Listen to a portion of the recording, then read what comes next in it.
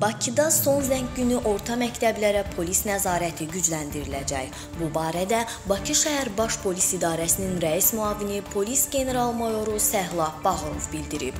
O qeyd edib ki, son zənglə əlaqədar iyunun 14-də Baş Polis İdarəsinin polis qarnizonu gücləndirilmiş iş rejimində çalışacaq. Paytaxtda fəaliyyət göstərən bütün məktəblər polisin nəzarətinə götürüləcək və orta məktəblərin yerləşdiyi ərazilərdə polis naryadlarının sayı artırılacaq. Həmçinin son zənglə bağlı tədbirlərin məktəblərin ərazisindən kənarda keçirilməsinə imkan verilməyəcək.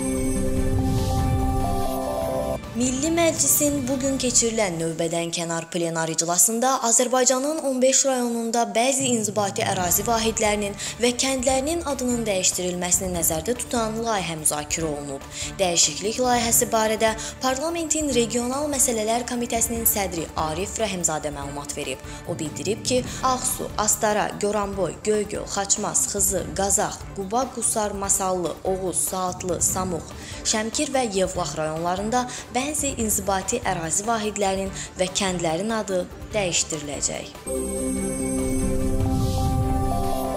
Bakıda uşaq mərkəzində azyaşlıya zorakılıq nümayiş etdirən tərbiyəçi saxlanılıb. Daxili İşlər Nazirliyinin mətbuat xidmətinin rəis müavini Orxan Mansurzadə bildirib ki, faktla bağlı Yasamal rayon polis idarəsinin istintaq şöbəsində Cinayət Məcəlləsinin 133-cü maddəsi ilə cinayət işi başlanılıb və mərkəzin tərbiyəçisi Firuzə Tağıyeva şübhəli şəxs qismində saxlanılıb. Hazırda faktla bağlı başlanılmış cinayət işi üzrə təxirəsalınmaz istintaq əməliyyat tədbirləri davam etdirilir. Xatırladaq ki, sosial şəbəkələrdə Bakıda fəaliyyət göstərən Kid Studio uşaq mərkəzinin tərbiyəçisinin azyaşlılara kobud davranması və onları döyməsi ilə bağlı görüntülər yayılıb.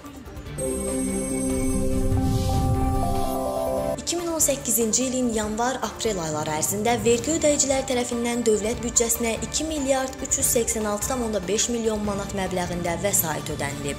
Bu, 2018-ci ilin yanvar-aprel ayları üzrə Azərbaycan Respublikasının dövlət büdcəsi gəlirlərinin icrasına dair məlumatda öz əksini tapıb. Bununla da qurum üzrə müəyyənləşdirilmiş proqnoz tapşırıqlarına 101,8% əməl olunub. Ermənistanda səfərdə olan ATƏT-in Minsk qrupunun həmsədrləri Andrew Şofer, Stefan Viskonti və Igor Popov Baş nazir Nikol Paşinyanla görüşüblər. Görüşdə Nikol Paşinyan münaqişənin sülh yolu ilə həll prosesində vasitəçilərin rolunun vacib olduğunu vurğulayıb və effektiv əməkdaşlığa ümid etdiyini deyib. Həmsədrlər Dağlıq Qarabağ münaqişəsinin sülh yolu ilə həllinə nail olmaq üçün bütün lazımi səyləri göstərəcəklərini bəyan ediblər. Tərəflər prezidentlərin Viyana, Sankt-Peterburq və Cenevrə görüşlərində əldə edilmiş razılaşmalara əməl etməyin əhəmiyyətini vurğulayıblar.